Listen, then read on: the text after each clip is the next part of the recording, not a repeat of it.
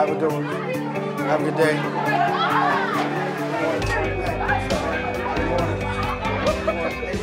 My name is Keith Jones, and I'm the principal here at Chase Middle School. I'm very involved and very hands-on.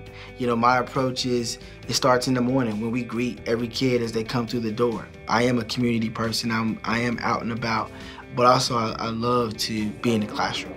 The history of, of finding out about space, because we've had to spend money and people have had to lose their lives.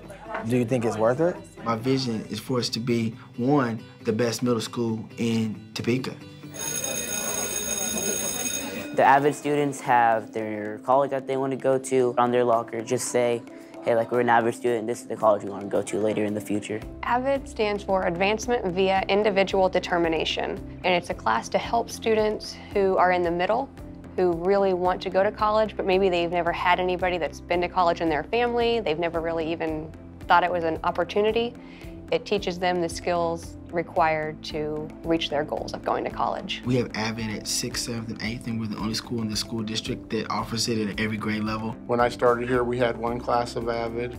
We've grown to three classes of AVID. We've gone to school-wide AVID now where we use AVID strategies throughout the building. We're in the seventh and eighth grade avid classroom. Right now they're doing a TRF. It's a question in a subject that they have trouble on. So like you can get like a better understanding of that question, which can help you like bring your grade up. Our students now carry binders, and it used to be just the AVID students carried binders, but now it's school-wide.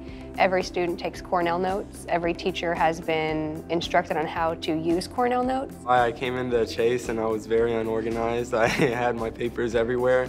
And Avid kind of taught me how to take my stuff and keep it together. Avid helps you a lot, especially on our binder checks, since they're really strict on our notes. We have to highlight and revise. And sometimes when you're highlighting and revising and doing your homework for Avid, you're actually technically studying for your other classes. Through AVID, my goal is to help every kid to be the most successful they can and have an opportunity to go to college. These kids come from backgrounds where college is not an emphasis. We are 93% free reduced lunch. We have a lot of students, they are Spanish speaking. We have a very diverse population here at Chase. I will say we're right around 85% students of color here. What I've learned with our demographic of kids, before we can teach math and English and history, we gotta know who they are. We gotta know their story. Sometimes our kids, the only attention they get is when they're here at Chase. I know sometimes we've been having a lot of tough conversations with you guys about maybe what you're not doing well and what you need to improve in, but we want to start today on a positive note. So we're gonna start with Mikey. I want you to list one positive in the week so far. We can look at our school rosters and see just an absence of male presence in the home, uh, whether that be a father or father figure. Keith, my principal, asked a few of the staff members, guys, to get involved with a male mentoring group. Um, the goal is to to take guys and just really invest and pour into their lives, uh, give them guidance to make them go from young men to men. We have about 25 guys. Uh, we meet every week just to, to bond, to have some time with other guys and just invest in them uh, to help prepare them for what life is really like, uh, to be leaders. One of the great things about Chase is that we have some resources that we can tap into to help us carry out our vision. We partner with KU Gear Up. Gear Up is actually an acronym and it stands for Gaining Early Awareness and Readiness for Undergraduate Programs. So our goal is to adopt a cohort of students and then support those students through to high school graduation and into college. We sat down in the summer and met, mapped out a plan and a vision for what we wanted to school. And I think we have about done 95% of the things that we said we were going to do starting out. And the first thing was there was not an after school program in place. We have something called Chase Academy where like you can go and like do homework and stuff and like learn that and get with your teachers to help you get a better understanding. It happens Monday after school to like 4.30, Wednesday on the same time, and then every other Saturday.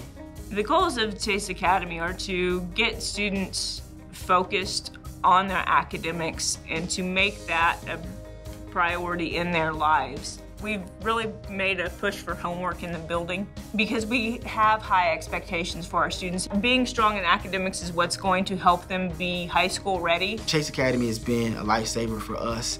It goes along with our intervention process of trying to get to tier two and tier three interventions. And an intervention, it's finding a different mode of teaching so that that student accesses that. During intervention time, students report to whatever class that they're behind, grade-wise, work-wise. Students regularly receive about 90 minutes of language arts, but if we're putting them in an intervention, we're going to give them, in addition to those 90 minutes of language arts, somewhere from 25 to 43, maybe even another 90 minutes if you're in our um, after school program. The best thing I've seen in the partnership between Chase and Gear Up has been students starting off not really thinking they're going to be able to make it to college. Some of them able thinking that they're going to make it to through high school to changing. I've had students go to KU, go to other college campuses, and say that they are going to be there in a few more years, and that their goal is now to get to college, and they believe they can get there. With KU a Gear Up support, we're able to have a summer program. We're going to have a two-week summer boot camp where it focuses on reading and math and writing,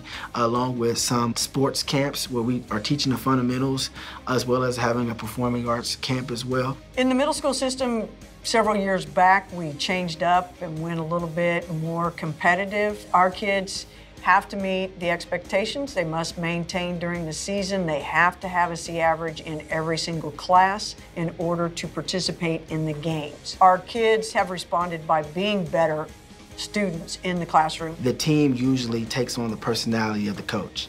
I'm a go-getter. You know, I have high expectations. Being from a low-income area or uh, being a minority is not a, an excuse not to be successful. Giving these kids the skills to be successful is what I'm passionate about. It's really important for these kids to have good teachers that care about them.